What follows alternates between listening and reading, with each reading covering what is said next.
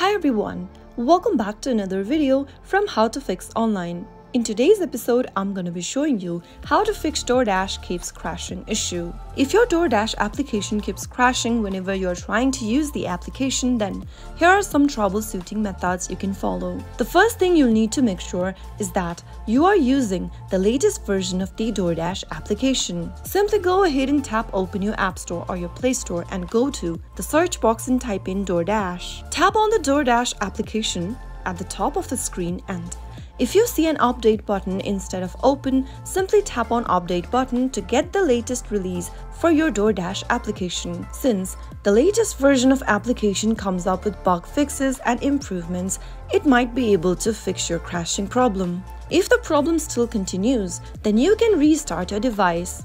Go ahead and press and hold the power switch and restart your device and a simple restart can clear temporary glitches and refresh the app functions. You can also try force closing and reopening the DoorDash application. Simply swipe up from the bottom of your iOS device and bring up the app switcher. Force close the application by pushing off your app card at the upwards and then you will be able to fully close the DoorDash application. Relaunch the application by tapping it from your app drawer and once you do so, you might be able to fix your issue. If the problem still continues, you can simply uninstall your DoorDash application from your system. Press and hold the app and then from the menu appearing on the display, tap on Remove App, tap Delete button twice and you will be able to delete your application from your device. Now, get back to your App Store or your Play Store and re-download the application and see if that fixes the issue. So those were some of the fixes you could try out